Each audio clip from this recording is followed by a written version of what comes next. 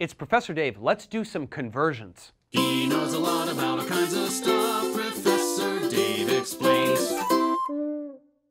We've learned about fractions, decimals, and percentages, and we've seen how we can use any of these to represent the same value.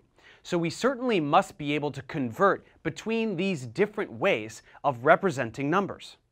Let's take something like 30%. It's very easy to convert this to a fraction because we know that percentages are out of 100. So 30% becomes 30 one hundredths, or 30 out of 100. Then, to reduce the fraction, we can divide both numbers by 10. And here's a hot tip. When we do this, we can just cross out the zero in each number, as that will do the same thing as dividing by 10. That leaves us with 3 tenths. So 30% is equivalent to 3 tenths. Now let's get that as a decimal. Well, we know where the tenths place is. So if we have 3 tenths, we just need to place a 3 in the tenths place, so 0.3.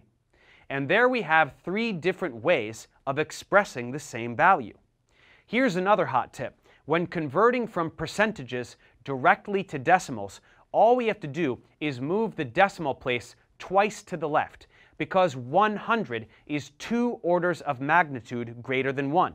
So from 30%, we just take the decimal place, which isn't written but is implied to be just to the right of the units place, and move it over twice to the left. We can never start a number with a decimal point. There has to be a zero first. So that gives us 0.3. We could do the same with an 8.25% sales tax. We move it once, and then if we have to move it again but there are no more numbers, just put a zero.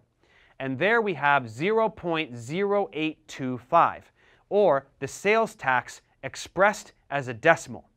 This is useful because if you want to compute the sales tax on an item, you can just multiply its price by this number. So a $50 shirt would have a sales tax of $4.13. To go from a decimal to a percentage, we just move the decimal twice to the right, because this is the same thing as multiplying by 100.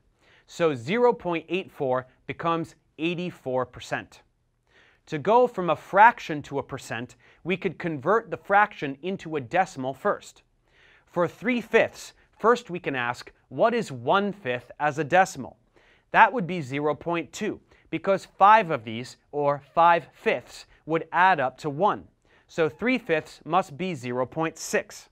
From there, we just move the decimal over twice, adding a 0 since we need to, and we get 60%. Here is a table with some common fractions and their corresponding values as decimals and percentages. We should be able to convert between these forms with ease, as these are all just different ways of communicating ideas that are useful in different scenarios. Let's try and put this to use. Here are three values, 45%, 21 50ths, and 0.43. Let's try to arrange these from least to greatest. Well, 45% is the same as 45 over 100. What should we do with this fraction?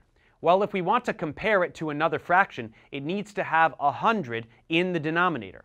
So let's get this one looking that way too.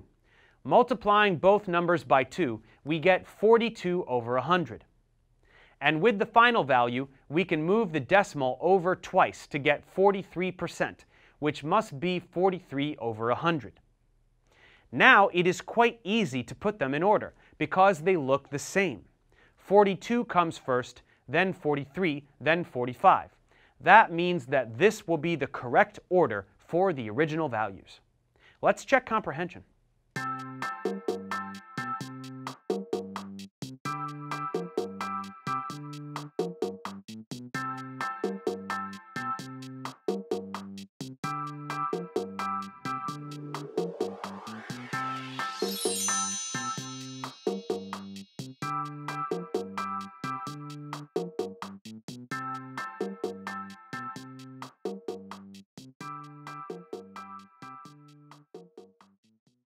Thanks for watching, guys. Subscribe to my channel for more tutorials. Support me on Patreon so I can keep making content.